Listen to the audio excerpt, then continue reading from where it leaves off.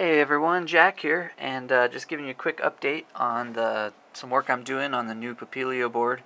Uh, and basically what I'm doing is making a waveform generation core uh, that plugs into the AVR8 and uh, it will generate sine, cosine, sawtooth, and uh, square waves. Um, and it's all controlled by an easy to use sketch uh, right now it's running on uh, the new Spartan 6 board, but uh, it should run on any Papilio board once it's finished. Uh, and one of the cool things is uh, I output the uh, the waveform that's generated through uh, Delta Sigma DAC, and we can look at the sine wave output um, on an O-scope and see it looks pretty good.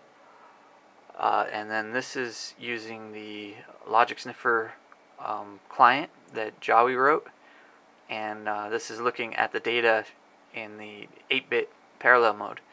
So uh, anyway, it's not quite ready for prime time yet. It's something that I should be releasing pretty soon, but I just kind of wanted to um, make a video showing showing uh, showing it off. Okay, talk to you later. Bye.